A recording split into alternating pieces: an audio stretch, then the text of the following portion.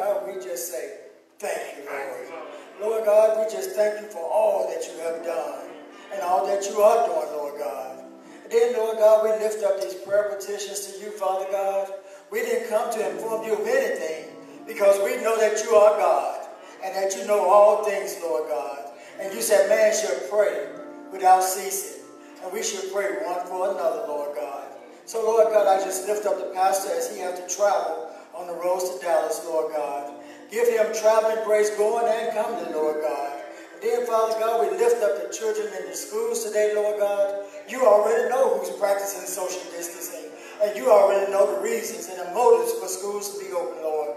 So we lift the children up to you this day, Lord God. We lift them up to you, Father God, because they are innocent, Lord God. They don't know anything about social distancing, Lord God. But we lift them up to you, Father. We put them in your hands. Even though we send them to schools, Lord, we put them in your hands first, Lord God. And then we just plead the blood of Christ on them right now, Lord. From the crown of their heads to the sole of their feet, Lord God. And we plead that blood knowing that it still has healing power. It still has miraculous power. Have thine own way with those children today, Lord God. Not only the children, Lord God, but be with the teachers and the employees, everybody that enters and, and exits through those schools' doors, Lord God. We pray they go in this sleep, go home the same way they came, Lord God. Virus free, Lord God. We know someone that has a name above this COVID virus, and his name is Jesus. And we call on Jesus right now, Lord God, to help us, Lord God. Help us with our children, Lord God. Help us with our communities, Lord God. Help us with our families today, Lord God. Oh, Lord, if there's ever a time we need you, we need you right now, Father. So we just lift everything up to you, Lord God. And we say, have thine own way. You teach us, Lord God, to trust in you with all our hearts and lean not on our own understanding, but on all our ways acknowledge you. And you shall direct our path, Father God. So we're standing on your word. We're standing on your promises, Lord God. And we want you to lead. We want you to guide us. And we want you to protect us, Lord God. Because that's what a father does. He protects his children, Lord God. And we thank you for your provisions. We thank you for your protection, Lord God. And then, Lord, I just lift up each and every one that's under the sound of my voice today, Lord God. We all came here expecting something, uh, a word from you today, Lord God. Feed us this day so that we can leave out of here a better people. Help us, Lord, not to leave here the same way we came, Lord God. Help us to lay our burdens on the, at the altar, Father God, and leave them there with you, Lord, because you are a burden bearer and a heavy load sharer, Lord. So, Lord, we just thank you for this opportunity, Lord God. We thank you for the ones that's watching today, Lord God. The ones that want to be here today, but for whatever reason they couldn't, Lord God. So we just pray for them as well, Father God. Then we pray for those that are in bereavement today, Lord God. Your word says, Blessed are they that mourn, for they shall be comforted. So we just pray that you send your comforting spirit to comfort them, Lord God. Let them know weeping may endure for a night, but that great morning there, Lord God, that great morning, we can have joy. So we just thank you right now. We look forward to that, that great morning, Father God, that joyous morning, Lord. And then, Lord God, as we go further into the service today, we just invite you into this service. We invite you into our hearts, Lord God. If there's anything on our minds, Lord God, that is not about you, Father, we pray right now in the mighty and precious name of Jesus that you remove it, Lord God. Help us to hear from you this day, Lord God, so that we can go out there and tell a dying world that Jesus still lives, that Jesus is the light of the world. We thank you for this opportunity to be here. We praise you. We magnify you. We glorify you, Lord God. And then, Father God, use the one that's going to stand on the wall for you today, Lord God, and pre- and preach your uncompromising gospel, Father God. Give us ears to hear your words this day, Lord God, and give us a heart to receive your word, Lord God, and help us to be more loving one to another. And these things we pray in the mighty, precious, and powerful name of Jesus. We do pray and ask it all. Amen. And thank God.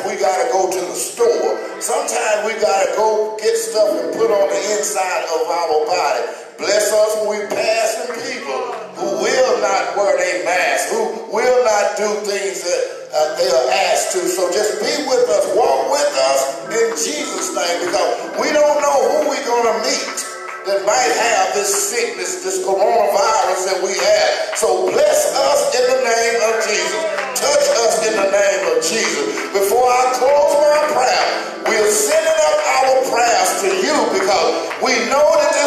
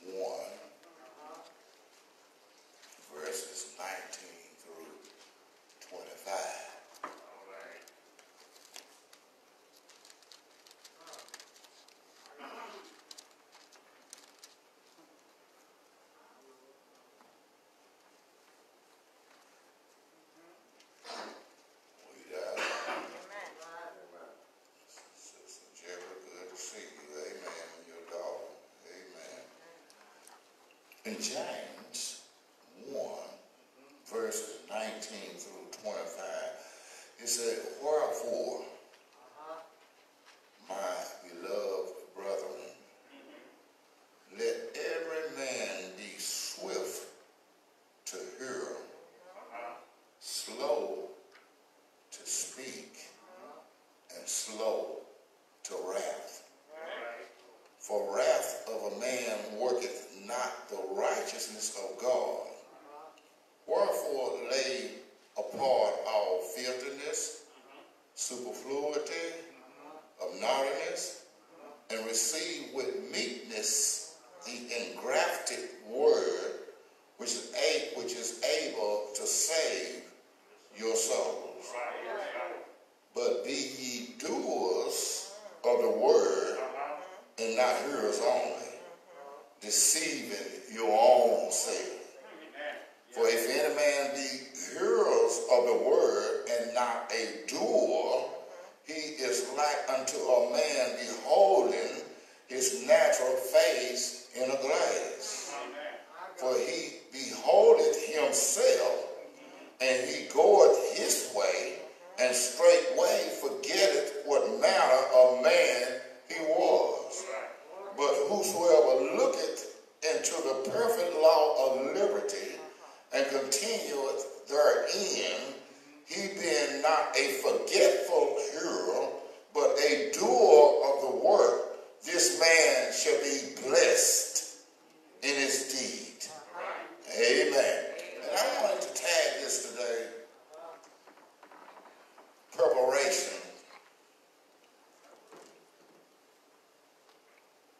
Now let's take it this way practice what you preach. Practice what you preach. Preparation is a key to success. Benjamin Franklin once said, by failing to prepare, you are preparing to So in our text, James is giving us some wise counsel on how not to fail. And you know, in this life, we prepare for many things. Athletes spend months preparing for game seasons. Children spend 13 years in school preparing for college. Brides spend as much as two years preparing for their wedding day. And however, it's seldom that we think of the Christian's life as something that we prepare for. Most of us just took the dive one day, accepted Christ as our Savior. And then figured that God would do the rest. And that's partly true, Reverend Roberts. God does prepare us through his Holy Spirit for the journey that lies ahead of every Christian. But you see, I, found out that we don't always approach our Christian responsibility with the same passion and consecration that God desires to extract, extract from us. In other words, what do you mean, preacher? I mean, we mean well, but sometimes in this Christian life, we, we get sidetracked.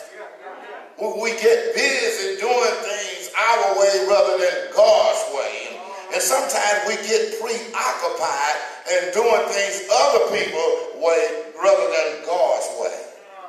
You see, we should live our lives as though if Christ was coming back this afternoon. Are you with me, church? And I, I wonder if he was coming back this afternoon, Brother Robinson, would, would he find a list of things left undone?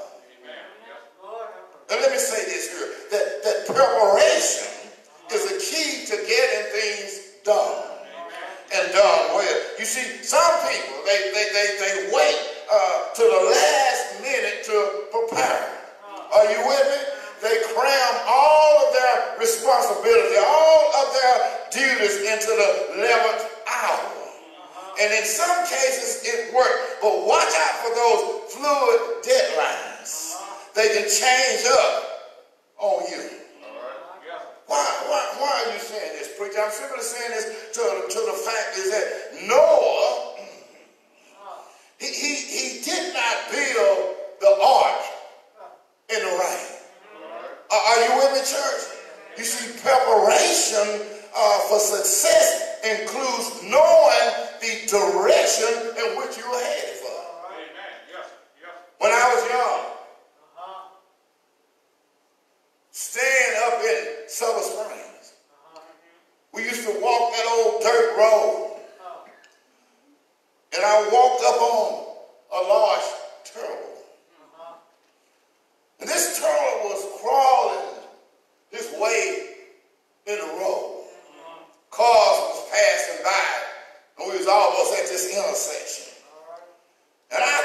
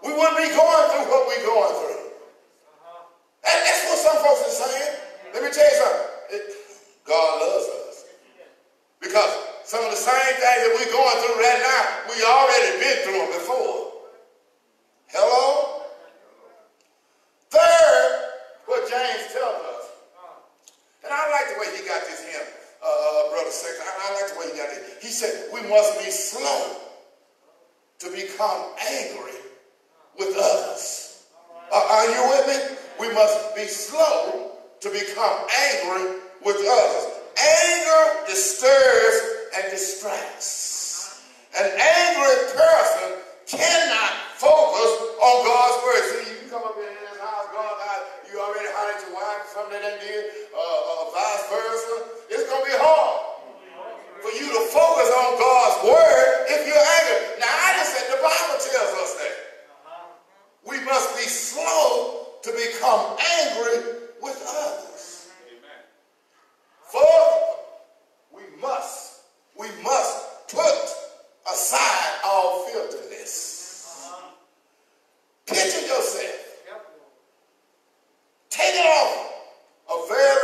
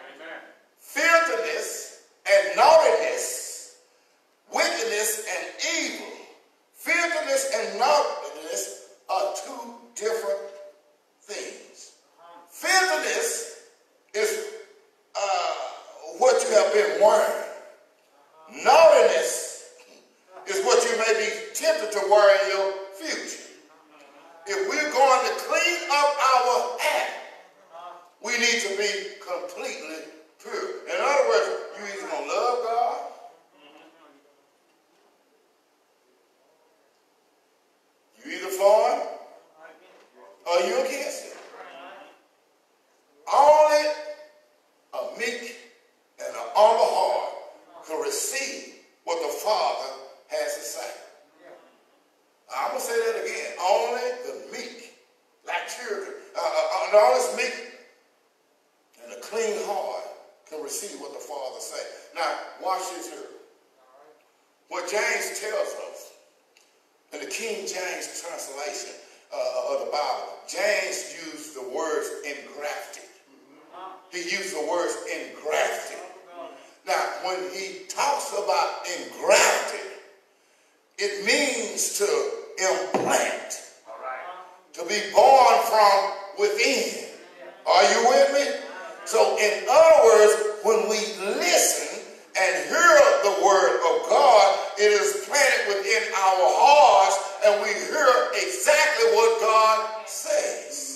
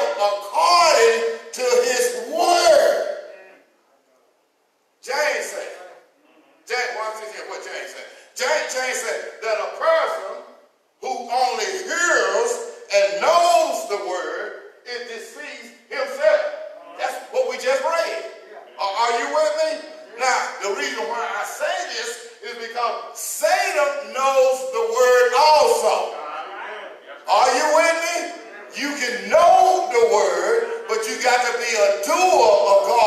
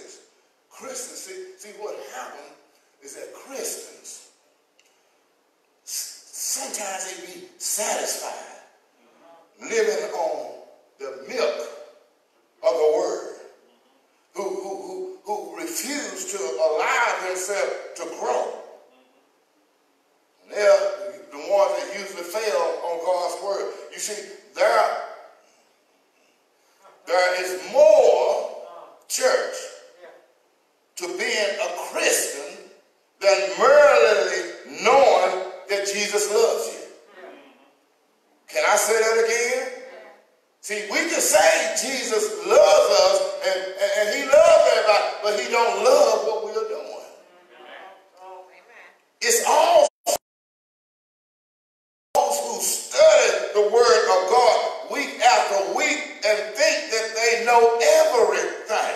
They think that all their listening and learning makes them acceptable to God. And when they fall into sin, they think that they are elevated.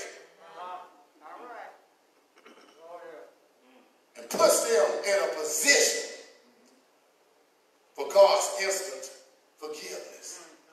And see, sometimes in this Christian life, we sin and we don't want to ask God for forgiveness. They just feel that God would never reject them. Are you with me? Let me tell you something. I don't care how much you know. I don't know how, how, how many, uh, I don't care how many scriptures in the Bible you know. When death comes, death comes in your family. Are you with me? When sickness comes, sickness comes in your family. Sickness comes in your house. Sickness is everywhere. He doesn't even accept us just because we confess our sin. Each of these are necessary and very important, but they are not enough. They are not enough. God accepts those, let me tell you what he do. He accepts those who confess and repent. Repentance means that we turn away from our sins and turn to God. Let me tell you something. You just can't keep over and over the same thing for 20, 30 years. You, you just can't keep on doing it. Some, some ain't right. Some, some, some not right. Because when God saves you, he comes on the inside of you, Sister Mark. He changed the way you walk, the talk, and act. The things that you do. In other words, you just can't talk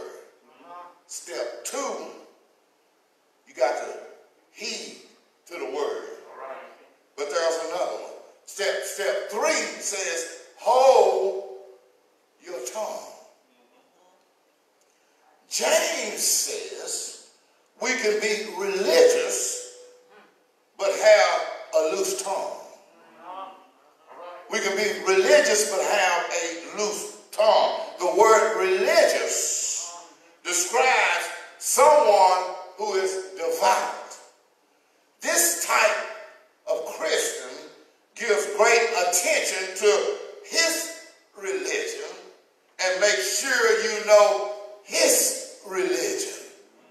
And a lot of times they forget about their religion, but want you to know about his religion. But he has a loose tongue. James said, James said, James said, uh, he says back in chapter 3 and verse 8, he said that the tongue is unruly, an unruly member that no man can tame, but God can. God can. If, if, we go to God, he can. And then Peter goes on in 1 Peter 3 and 10, he said, for he that will love life and see good days, let him refrain his tongue from evil and his lips that they speak no God. Tongue lashing are the most important dank, dank of these Words can be sharper than a two-headed sword. So, so we talk about step one, you got to hear the word. Step two, you got to heed the word.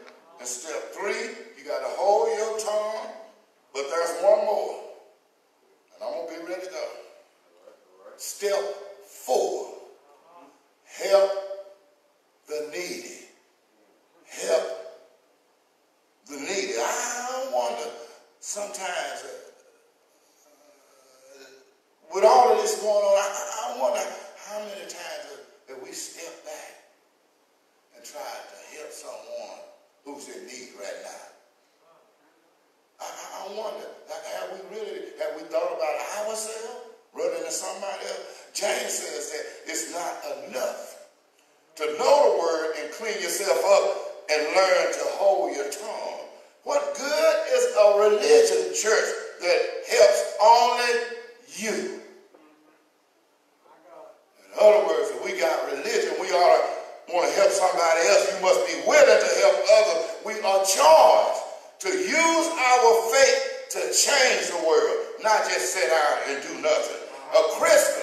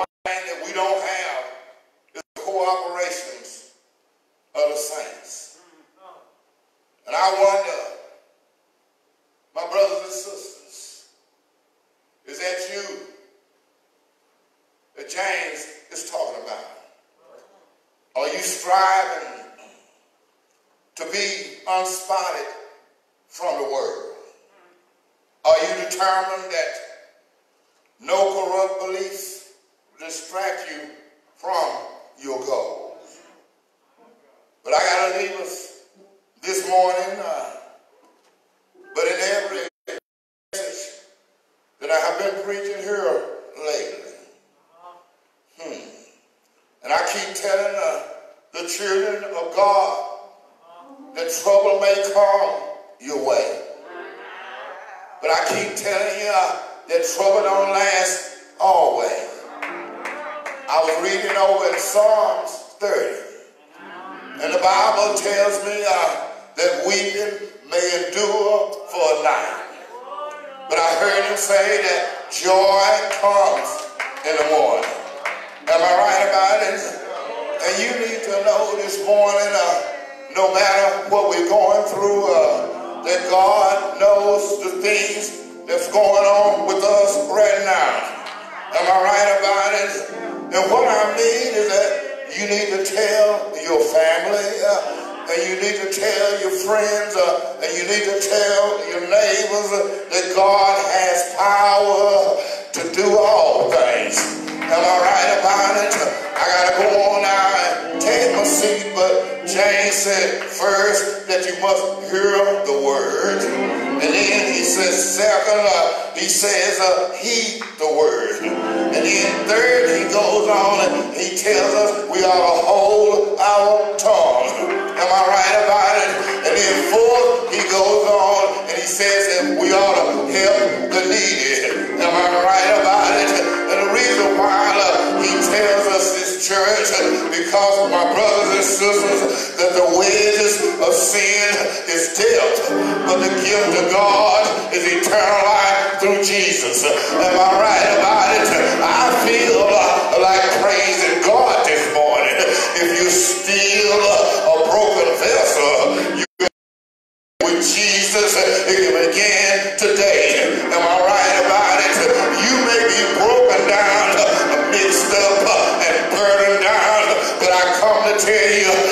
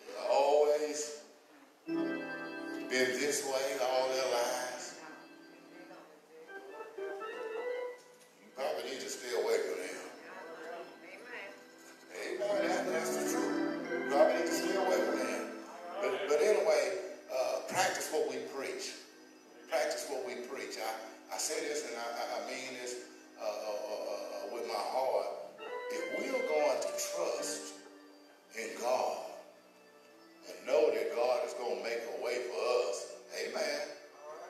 I listened to some preachers this morning, earlier this morning, it was on talking about preaching, and when you get down to Revelation, when Jesus come back, it's going to be a thousand years. I believe that's what they was telling me, saying, amen. And this talks about that a thousand years. imagine